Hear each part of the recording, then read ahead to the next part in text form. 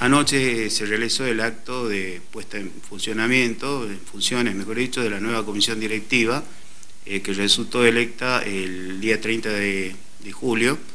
Eh, participaron este, el secretario de Trabajo,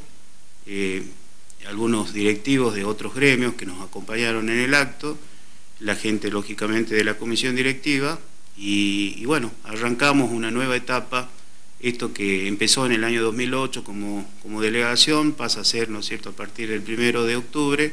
seccional, con propia comisión, con cierta independencia de Casa Central, lo que se busca, lógicamente, un gremio que creció durante cinco años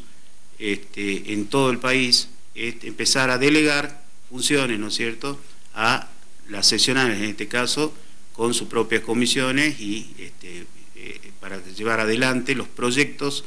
eh, que tiene cada provincia, ¿no es cierto? Eh, ¿Quiénes forman parte de esta nueva comisión directiva? Bueno, eh, la integran ocho miembros, de los cuales hay cinco secretarías,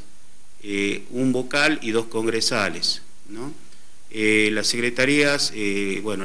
el secretario general, quien les habla, Ricardo Cruz, secretario adjunto,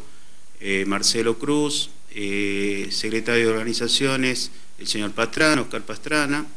el secretario administrativo René López y el vocal el señor de la Fuente, Rafael de la Fuente, y dos congresales eh, que también este, digamos, integran la comisión.